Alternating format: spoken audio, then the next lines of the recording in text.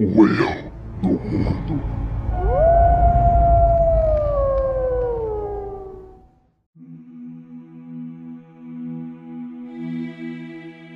Eu preciso ser realista com vocês e falar que nesse vídeo a gente não vai nem tocar na superfície dos feitos de Krishna. Esse deus cometeu tantos atos heróicos e derrotou tantos inimigos que as suas histórias fazem parte de várias escrituras sagradas. O que se acredita é que ele é o oitavo avatar do deus Vishnu, e antes mesmo de nascer, ele já enfrentava perigos enormes. Os textos contam o seguinte: em um certo dia, o deus Vishnu arrancou dois fios de cabelo da sua cabeça, um branco e um preto, o fio preto foi colocado no útero da princesa Devaki, a princesa da cidade de Mathura, e a partir dela, Krishna veio ao mundo. O seu pai humano era Vasudeva, e o nome da sua família era Pandava.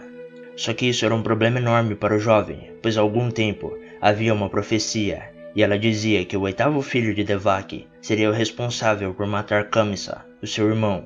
Então sempre que ela dava luz, ele matava a criança, ele foi capaz de fazer isso sete vezes até o nascimento de Krishna. Temendo que ele teria o mesmo destino dos seus irmãos, a sua mãe Devaki o enviou até uma vila remota, chamada Verindavana. Ele foi criado por pais adotivos, entre pessoas comuns, e se tornou um vaqueiro.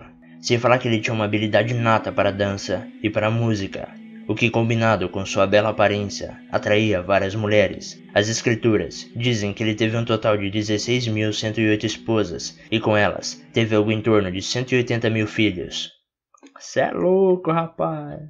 Uma característica bem interessante da sua existência é o fato de que ele se fantasiou duas vezes. A primeira foi na forma de um ser humano, mesmo sendo um deus, e a segunda foi na forma de um aldeão, mesmo fazendo parte da nobreza. Esse aspecto duplo faz sentido, pois hoje em dia ele é visto como aquele que pune os seres humanos, mas também nos leva ao caminho da iluminação e do conhecimento. Depois que ele cresceu e começou a enfrentar o mal desse mundo, entre monstros e demônios, ele matou seu tio, o ditador Kamsa, e assumiu o papel de rei da cidade de Mathura. As escrituras contam que entre as suas esposas, a favorita se chama Radha, e depois dela vem a rainha Rukmini, que é a forma humana da deusa Lakshmi, a deusa da riqueza. O que fica bem claro em seus feitos é a sua força e habilidade com armas. Ele é um guerreiro muito poderoso. No vídeo sobre o deus Indra, eu falei que Krishna levantou uma montanha para salvar o seu povo de um dos ataques dele. Dá uma olhada naquele vídeo para saber mais. Link no card e na descrição. Hoje em dia ele é muito cultuado pelos seguidores do hinduísmo, tanto que é a figura central da religião. Claro que existem outras vertentes. O seu nome pode sofrer algumas variações, mas as formas mais comuns de mencioná-lo são Krishna, Hare Krishna ou Hare Krishna, onde Hare e Hari são normalmente usados como títulos. Como você pode perceber, ele ainda está muito ativo e é muito adorado, tendo seguidores, especialmente no sul da Índia, mas também ao redor de todo o mundo. E esse é o legado de um deus.